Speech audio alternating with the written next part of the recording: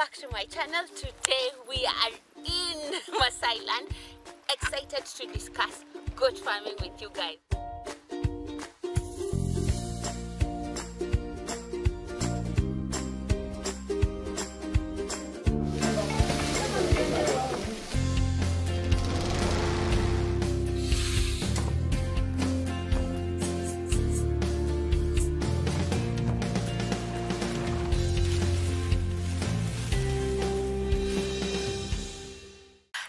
The channel where you find exciting videos about farming. We are here to inspire you, to inform you, to let you know anything and everything you need to know about farming. We thank you for subscribing and for sharing these videos. So let's get straight to it. So goat farming, as you can see, they're usually color white, but they can be um, done zero grazed, especially the new types of breeds that are a bit foreign. But the traditional Maasai ones that are usually used for open pasture are the ones that we are going to discuss today.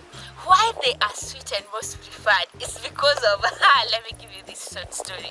So long time ago, as the colonialists were laying down the railway line, they realized that most of the Indians who were their middle-level managers, because the Africans were doing now the manual labor, then the white people are obviously the supervisors and senior level management, then the Indians were there in the middle, that they would find that when they were laying the railway line, especially in the Tsavo, that the lions would come and hunt the Indians only. They would leave out the black people who were lying around. They probably didn't even sleep in a shelter. They just slept on the railway side as they wait for the morning and start working again.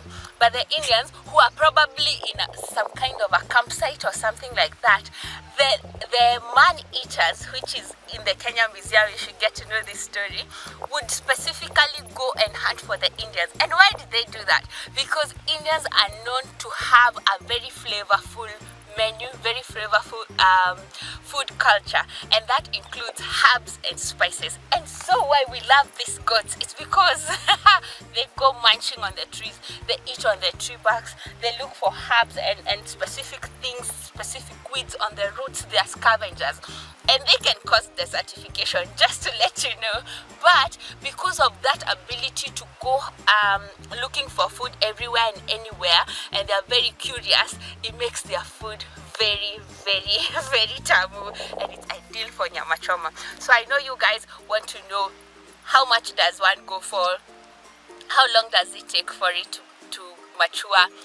Goat farming is one of the ways that you can do if you have a lot of open space of land. As you can see here where i am the grass is quite tall. It's actually my knee size and this is good for goat rearing. Because remember animals as long as they are ruminants have at least three or four stomachs which means they want to have a lot of roughage so that they can chew cud. So don't think that giving your goats this kind of grass you're punishing them. This is what they enjoy. So majority of their feed should be roughage and then eventually you go incorporating proteins and then some greens. So some of the protein sources you can get are from things like Lucerne and uh, dairy meal or some of the shops um, uh, powdered foods that you can get from the shops.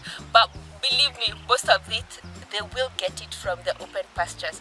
Another great idea why we love um, goat meat is that it's almost um, very little cholesterol compared to other red types of meat. I didn't say it doesn't have any cholesterol, it has cholesterol and it can be insensitive to people who have heart diseases, but compared to other red meat, this is the best this is the healthiest because it has all those um, medicinal value that it can be incorporated by what the animal ate. It can be very good for you another thing is uh, goat milk farming uh, so most of the people who are specializing in that are specializing in breeds like Toggenburg, um, Nubian, African, Boer, those kinds of breeds which are imported from outside and usually they like being zero grazed. They don't like these harsh climates that we might expose them compared to the other ones for um, that are going around looking for pasture. So these ones are ideal for milk farming and goat milk happens to have a very high value in the market. It goes for up to about 200 shillings per liter because it's also very rare and it's good for people who have allergies and sometimes who are lactose intolerant. It can also be value added into a million things it can make very good yogurt very good skin oil for you know for dry skin because it has high high levels of fat which are good and absorbed by the skin without too much allergies and too much problems. So goat farming is the way to go.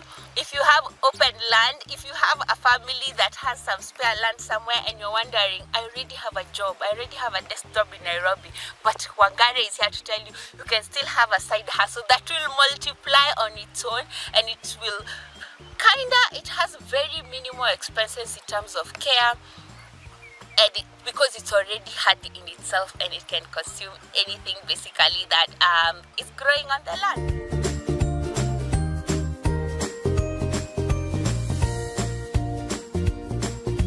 Another way that you can make money is through getting your grass built. A lot of trucks are coming to Kitengela right now because there is a lot of animal farmers who don't have feeds. So the people who secure their land and make sure no one is tampering with the land can cut it and bale it up and sell it to the people who are staying in um, arid areas. So that's another income for yourself. Another reason why we love goat farming so much, it's because it's entwined into our culture. We are using it for dowries. It can be used to pay bride price. It's also a ceremonial meal. If you go to someone na kuna sherehe, there is no sherehe without goats, and that's why we love them, and that makes it have very high demand. And for us to meet that demand, we need to be have more farmers who are doing this, and simply it has it can become a very effortless venture for you. Another reason why we do it because traditionally men, especially in the Kikuyu society, can be used to uh, to show a rite of passage. It's called Boria Kiama, which is given as a ritual for other men when they are turning to become elders. That's why we love goats so much. I hope you love goats. Do you take goats? Why don't you like goats? Please let me know in the comments below. And you can find a video here in the link here or somewhere here to tell you more about the sheep farming and the cow farming. This season we are doing nyama choma and the sources of nyama choma in our community.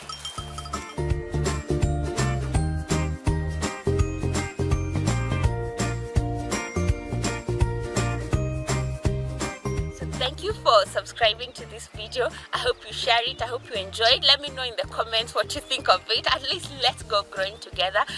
I'm here for you guys and let me know what else I can shoot on the next one. So thank you guys. See you on the next one.